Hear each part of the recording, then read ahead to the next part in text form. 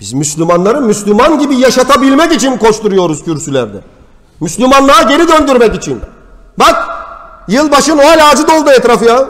Rahatsız olmuyor musun sen bundan? Ben bir Müslüman olarak kahrediyorum kendimi. Müslüman mahallede salyangoz satılmasından ar ediyorum, utanıyorum. Ne işi var benim mahallelerimde, belediyelerimde, ne işi var benim iş yerlerinde, alışveriş merkezlerinde Noel ağacının ya? Orhan Gazi rahmetullahi aleyh ikinci padişahımız. Bursa'yı fethetti, Bursa'ya girdi, etrafı geziyor, bir fırına girdi. Ekmeklere baktı. Tabi o bizimkiler belki lavaş yiyor, bilmiyoruz nasıl bir şey yiyor. Ecdat e, çadırlarında, ordularında bilmiyoruz. Daha yeni devletleşmişiz. Fırınlara bir baktı. Fırıncı var mı aranızda? İyi dinlesin burayı. Siz de iyi dinleyin. Bir baktı ekmeği bir aldı. Üç çizgi var ekmeğin üstünde. Merak etti padişah. Dedi ki hey fırıncı bunda niye üç çizgi var? Şaşırdı yani. Merak etti sordu. Dedi ki efendim burada üç ilahımızı temsil etmek için ekmeklerimize bu üç çizgiyi çiziyoruz. Kutsal Allah, kutsal ruh ve İsa. Bu üç simgeyi yapmak için yapıyoruz biz bunu diyor. Sultan Orhan dönüyor hemen talimat veriyor. Bütün Müslüman fırıncılara ferman gönderin. Biz de tek olan ilahımızı, Allah'ımızı temsilen ekmeklerimize tek çizgi çizeceğiz diyor. Ve o gün bugün Bursa'nın fethinden sonra Orhan Gazi Sultanımızın fetvasıyla, fermanıyla ekmeklerimizde tek çizgi var bizim. Tek ilahımızı, Allah'ımızı simgeleyen. Geçen bir fırına girdim. Üç çizgili ekmek gördüm. Dedim birader nerelisin sen?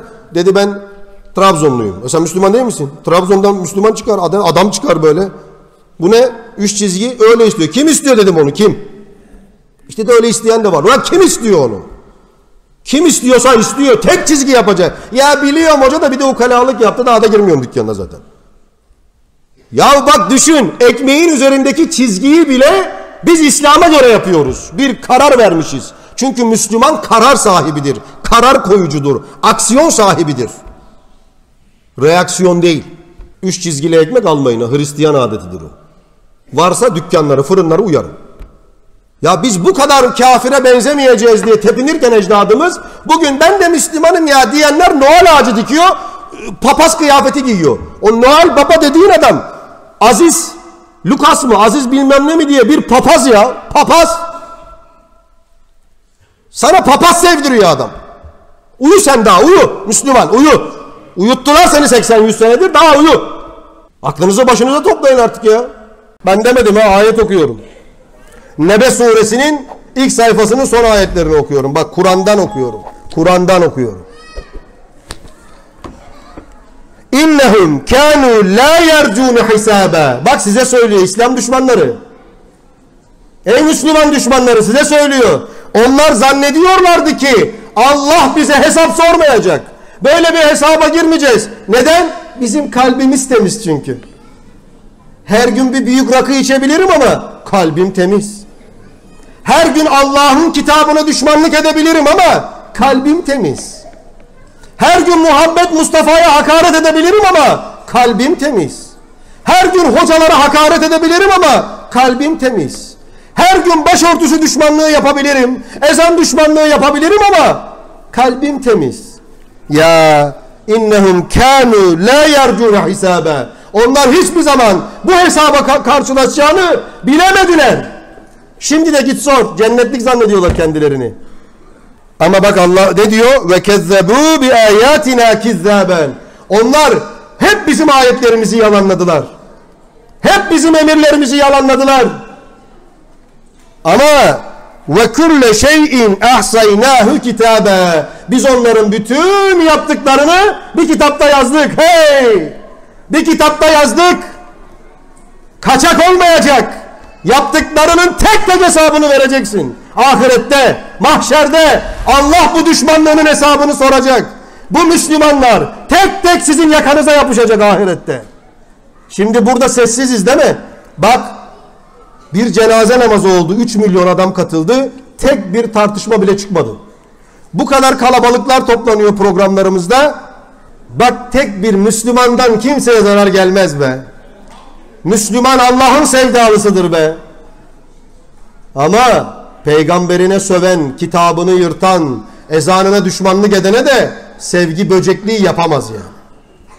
Hak ettiğini, hakkını ödeyeceksin. Müslümanlığın şiarında bu vardır. Bak o İslam düşmanlarının ahirette yüksek sesle söyleyecekleri o malum meşhur söz ne olacakmış? Ve yekulul kafir. Ayet söylüyorum ha. Ve yekulul kafir. Kafirler diyecek ki İslam düşmanları diyecek ki Müslüman düşmanları diyecek ki hocaların, hacıların, medreselerin düşmanları diyecekler ki ayet kafir. Bak Müslüman düşmanları ne diyecek? Ya leyteni kuntu turabe diyecekler. Ey diyecek vah vah vah. Keşke toprak olsaydım ben. Burada insan olmasaydım. Keşke toprak olsaydım. Hayvan gibi yok olsaydım diyecek. Niye bu sözü söyleyecek biliyor musun? Niye bu sözü söyleyecek? Çünkü hayvanlar diriltilecek. Hayvanlar insanlardan ve kendi arasındakilerden haklarını alacaklar. Allah'ımız soracak. Herkes hakkını aldı mı? O zulmeden hayvanlara zulmedenler, hayvanları katliam edenler, yakanlar, kırbaçlayanlar bir sürü. Peki hayvanlar kendi arasında mı aldılar mı? Ne diyor peygamber? Boynuzsuz koyun, boynuzlu koyundan hakkını alacak. Aldı mı? Aldı. Ya Rabbi bütün hayvanlar haklarını aldı. Allah'ımız emredecek. Şimdi toprak olur. Cennet yok hayvanlara. Cehennem de yok. Kafirler bu hayvanların yok oluşunu, haklarını aldıktan sonra yok oluşunu görünce bu İslam düşmanları, bu Muhammed Mustafa'nın düşmanları, bu Kur'an'ın düşmanları hayvanları görünce ah diyecek ah ben insan olacağıma hayvan olsaydım da toprak olsaydım. Ve yekulul kafir ya leyteni kuntu turab edecek. İşte ayetle sabit. Nebe suresi son ayet. Sizin sonunuz bu. Bugün elinizden gelen her şeyi yapın. Bugün elinizden ne geliyorsa yapın. Elhamdülillah ki ölüm var. Elhamdülillah ki cehennem var. Bana yaptıklarının, bize yaptıklarının, Müslümanlara yaptıklarının hepsinin bedelini ahirette ödeyeceksin. Tehdit yok. Ayet var, tebliğ var. Ey son sözü toprak olaydım diyecekler. Ey son sözü toprak olaydım diyenler. Sonunda biz galip geleceğiz. Hakla batılın bu savaşında biz galip geleceğiz biiznillah. Allah günahlarımızı affeylesin. Amin. Bizlere merhamet eylesin. Amin. Bizi İslam düşmanlarına karşı galip eylesin. Amin. İçimizdeki dışımızdaki bütün düşmanları kahru perişan eylesin. Amin. Onlara bir tatlı huzur lokma vermesin. Amin. Bende merhamet yok kardeşim. Ben bu devlete düşmanlık edenlere, Allah'a düşmanlık edenlere, Müslümana düşmanlık edenlere merhamet yok. Allah bana o duyguyu da vermesin. Ben Müslümanlara, ben Müslümanlara merhametliyim. Ben günahkar müminlere merhametliyim. Kendim de günahkarım. Ama İslam'a düşmanlık edenlere değilim.